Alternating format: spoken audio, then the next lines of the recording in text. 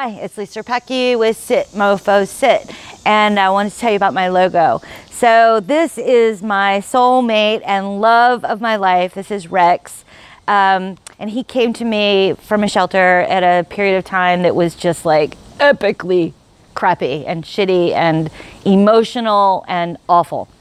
And he probably saved my life. I mean, serious. He got me out of my head.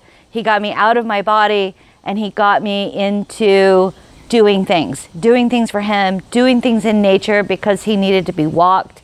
Um, and he was amazing.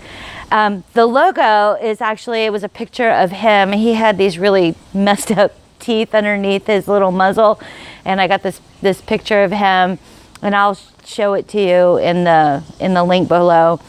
And we just laughed and laughed and laughed. And I showed it to my mom and my mom's like, oh, that's the best picture ever. And then my mom is an amazing artist. So she drew up a picture for me of little Rex with those with those jacked up teeth is what we used to call it.